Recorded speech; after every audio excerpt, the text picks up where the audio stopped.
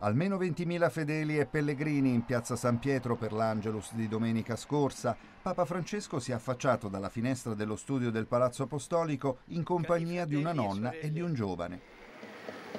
Oggi, mentre molti giovani si apprestano a partire per la giornata mondiale della gioventù,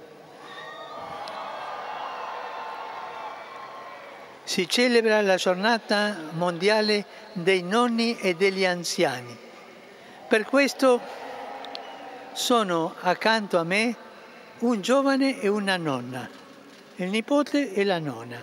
Un applauso a ambedue. I due appuntamenti, ha spiegato il Papa, ci spingono a riflettere su una tematica di fondamentale importanza per il nostro futuro. Appello del Papa a darsi da fare per soccorrere i migranti abbandonati nelle zone desertiche del Nord Africa. In tanti, ha ricordato nel post Angelus di questa domenica, continuano a morire nel tentativo di raggiungere le coste del Mediterraneo.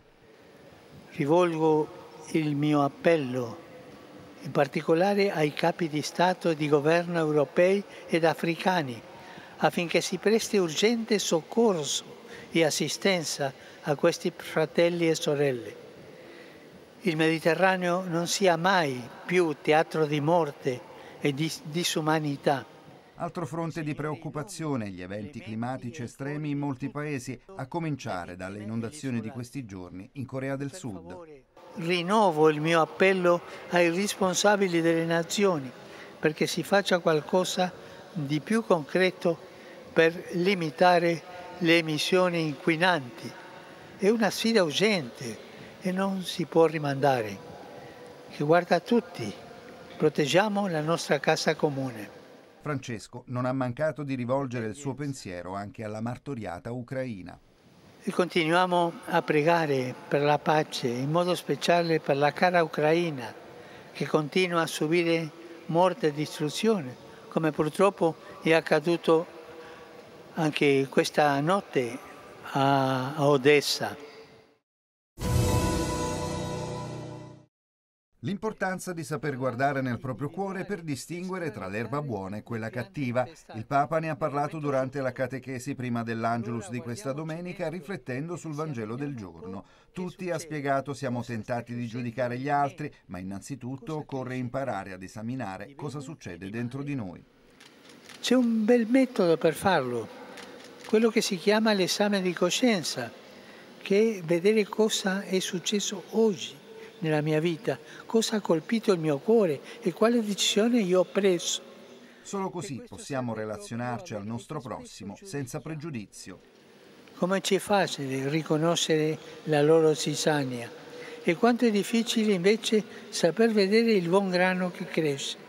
Francesco ha invocato la grazia di saper individuare il bene, anche perché il mondo non è perfetto, anzi, ha avvertito il Papa, l'erba buona e quella cattiva spesso crescono assieme non è uno sguardo ingenuo, è uno sguardo credente, perché Dio, agricoltore del grande campo del mondo, ama vedere il bene e farlo crescere fino a fare della mietitura una festa.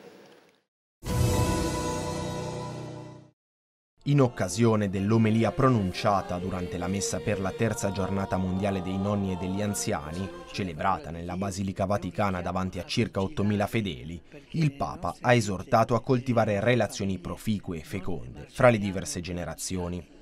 Stiamo attenti che le nostre città affollate non diventino dei concentrati di solitudine.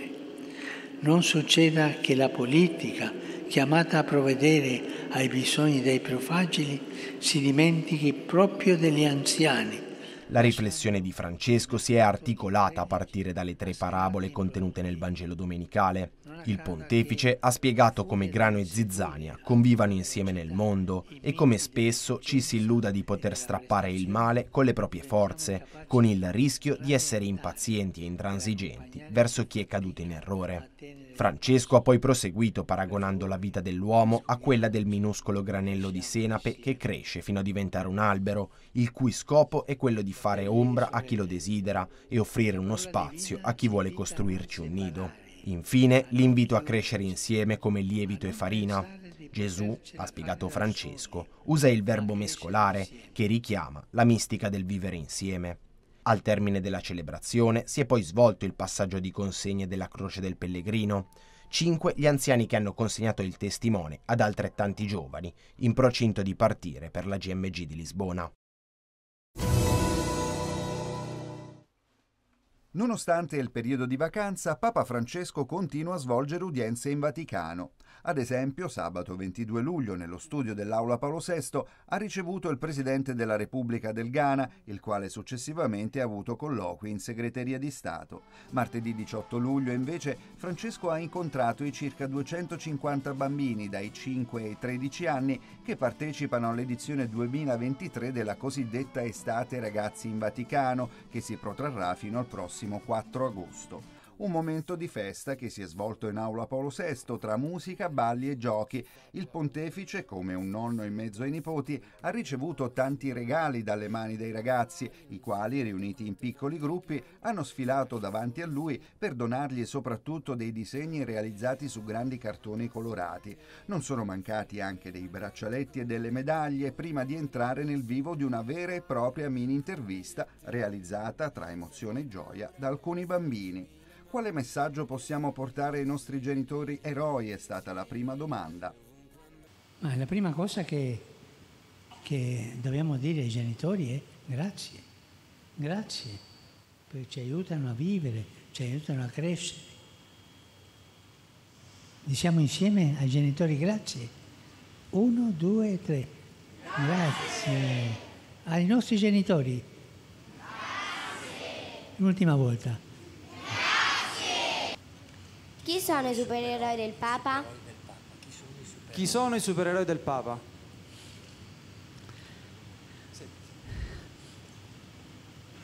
Io non so se tutti condividono quello che io dico. Sapete chi sono i miei supereroi? I nonni.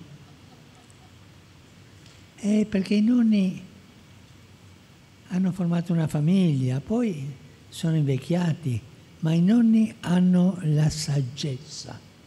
E per questo è importante che voi parliate con i nonni. Voi parlate con i nonni o no? Non capisco. Nel mondo digitale, come possiamo essere eroi? Eh, grazie, Eh, il mondo digitale è importante perché è di utilità, è di utilità ma se tu ti lasci prendere dal mondo digitale, tu sarai sconfitto. Il mondo digitale è per usarlo bene, per crescere io, far crescere la società. Ma se io finirò che sia il mondo digitale chi mi usa me, non vanno. Avete capito? Dobbiamo usare il mondo digitale Dobbiamo usarlo o no? Sì. Sì, perché al contrario vivremmo in altri secoli. Nei giorni tra il 17 e il 19 di luglio, il cardinale Matteo Zuppi si è recato a Washington per proseguire la missione di mediazione affidatagli da Papa Francesco. Per il presidente della conferenza episcopale italiana, quella negli Stati Uniti si tratta della terza tappa della sua missione, dopo le visite a Kiev il 5-6 di giugno e a Mosca il 28-29 dello stesso mese. Il principale incontro del porporato italiano è stato quello alla Casa Bianca con il presidente statunitense Joe Biden. Nel corso del colloquio, durato più di un'ora e svoltosi in un clima di ascolto reciproco, si è discusso dell'impegno della Santa Sede nel fornire aiuti umanitari per affrontare le diffuse sofferenze causate dalla continua aggressione della Russia in Ucraina, ma anche del sostegno vaticano per la questione del ritorno a casa degli oltre 19.000 minori ucraini. Il cardinale Zuppi ha anche consegnato a Biden una lettera del Papa, sottolineando il dolore di Francesco per la sofferenza causata dalla guerra. L'inviato pontificio, insieme alla delegazione vaticana, ha avuto anche altri due incontri. Il primo con alcuni membri della Commissione sulla sicurezza e la cooperazione in Europa del governo degli Stati Uniti, ai quali il porporato ha presentato la natura e lo svolgimento della sua missione, riflettendo insieme sulle modalità con cui la si potrebbe rendere più efficace. Il secondo, invece, si è svolto presso la sede del congresso ed è stata l'occasione per il cardinale di informare i partecipanti sugli incontri avuti durante le varie tappe della sua missione di pace.